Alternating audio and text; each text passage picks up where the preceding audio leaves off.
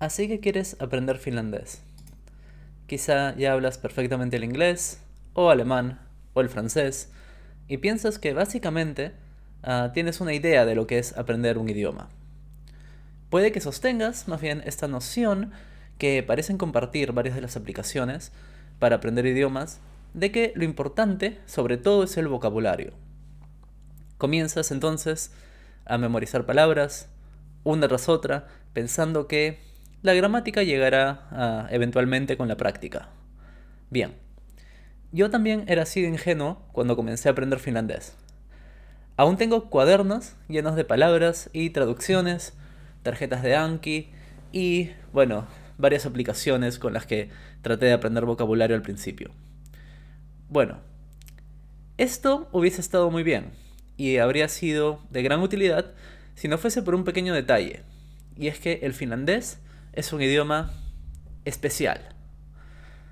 Les pongo eh, el siguiente ejemplo. Imaginen que ustedes no hablan nada de español. Cero. Nada en absoluto. Y de repente aprenden la palabra agua. Nada más. No saben ni la gramática, ni tienen eh, más vocabulario que esta palabra. ¿Qué han ganado entonces al aprender lo que significa agua? Bien, han ganado lo siguiente. Digamos que leen o escuchan, por ejemplo, tengo sed, quiero agua. O mi perro se cayó al agua. O quizás el barco está en el agua.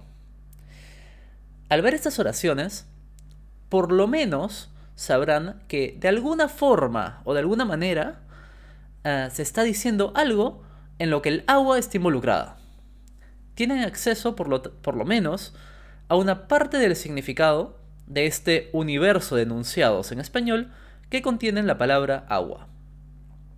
Ahora, ustedes me dirán, wow, qué gran cosa, ¿no? ¿Esto de qué sirve? Bueno, comparado con el finlandés, es un mundo de, diferencia. ¿Crees que en el finlandés puedes aprender una palabra ah, y después reconocerla en todos los contextos? no, en absoluto. No sabes lo, en lo que te estás metiendo. Simplemente, en esos tres enunciados anteriores sobre el agua, en el primero de ellos se hubiese usado el nominativo. Vesi. V-E-S-I. Vesi. Así es como se dice agua en finlandés. Pero en el segundo caso, hubiese aparecido como VTN y en el tercero como vedessä. Vesi, veteen, vedessä. Si no tienes ni idea de gramática finlandesa, jamás vas a adivinar que estas tres palabras son tres casos de agua. Bien, ¿qué va a suceder entonces si intentas comenzar a aprender la lengua por el vocabulario? Pues vas a ver una de dos cosas o bien vas a terminar frustrado porque nunca puedes reconocer una palabra que ya se supone que deberías saber, o bien vas a quemarte la cabeza aprendiendo todos los casos de cada palabra. Es decir, o bien no vas a entender nada, o bien tendrás que poner 15 veces más esfuerzo ah, que utilizando este idioma, ah, que utilizando este método para otro idioma. Siendo que el finlandés ah, tiene 15 casos, sin contar con otros sufijos que pueden aparecer. Bueno, esto me sucedió a mí. Y aquí es donde viene el consejo que puedo darles y que yo hubiera deseado que me den a mí ah, cuando comencé a aprender finlandés. Aquí va. Comienza por la gramática y más, más precisamente por la morfología. La base fundamental del finlandés es la morfología, la construcción de las palabras. Básicamente, lo que debes hacer es agarrar un libro de gramática finlandesa y estudiarlo como si fueras a dar, un examen de la universidad sobre este libro. No importa que no hables nada, simplemente estúdialo y compréndelo. Tómate un mes, dos, tres, y realmente aprende la lógica del idioma. Les recomiendo, si hablan inglés, el libro de Leila White llamado A Finnish Book of Grammar.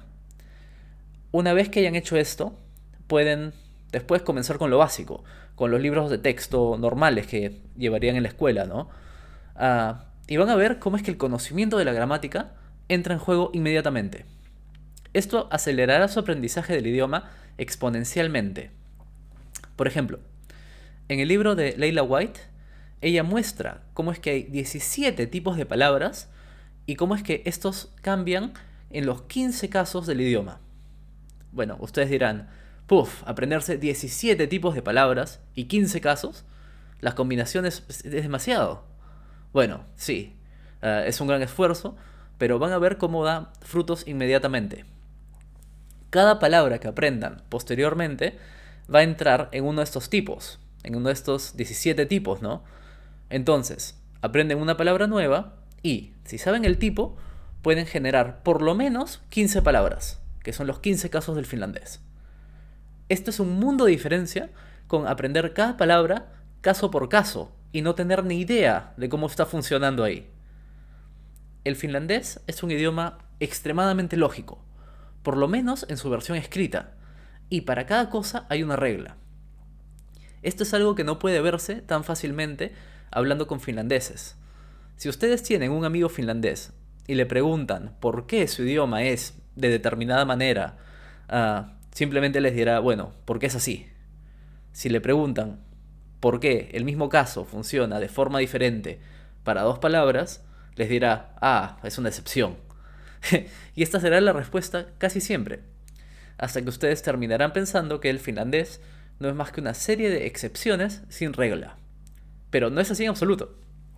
Las excepciones en finlandés son pocas y comunes, es decir, son palabras que se utilizan todos los días y que están en el, lenguaje de manera que las van a aprender fácilmente. Y las reglas son completamente lógicas y se aplican para la gran mayoría del idioma. Ah, solo que, bueno, hay que poner el esfuerzo ¿no? de aprenderlas. En cierta manera, el finlandés es un idioma que te hace poner todo el esfuerzo de entrada. En otros idiomas, Ah, uno puede aprender ¿no? poco a poco. Primero el vocabulario, después la gramática como que llega sola con la práctica. En el finlandés tienes que básicamente pagar de entrada la suscripción de por vida. Entonces, ese es mi consejo. Si vas a aprender finlandés, comienza por la gramática pura y dura. Realmente, desde que yo he comenzado a hacer eso, ah, veo un mundo de diferencia en lo que comprendo y en las oraciones que puedo generar. En fin, eh, si estás en este mismo proceso doloroso de aprender finlandés, puedes dejarme quizás un comentario y tal vez en algún momento lo responda. Bueno, muchas gracias y nos vemos.